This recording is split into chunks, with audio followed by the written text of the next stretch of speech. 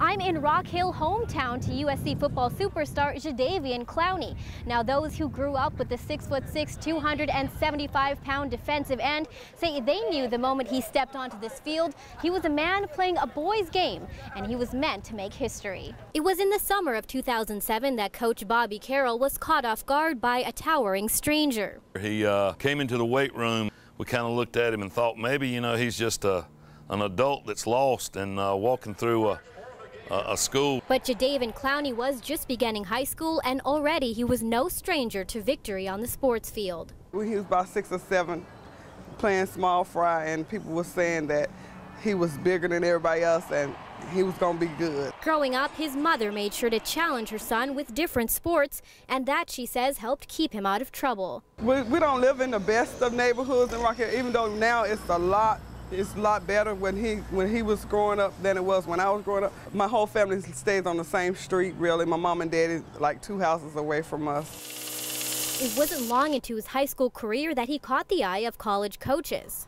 his three years of really being recruited, uh, getting letters and stuff from colleges, you could probably fill a, a, dump truck twice with it. Despite his local fame, the national attention that followed as Clowney signed with USC in 2011 surprised those closest to him. Uh, people on my job start saying, your son number one in the country, and I'm like, you know, I didn't know what that meant because uh, I wasn't into stats and football like I am now. Uh, you know, I've seen him hold babies and get his picture made, you know, just like a president or something. Those who have watched his rise don't doubt the best is yet to come. You know, he'll be a, a top pick in the NFL draft, and, you know, it'll be 20 or something million dollars the first, first contract. You always want better for your kids than what I had. In Rock Hill, PJ Randhawa, WIS News 10.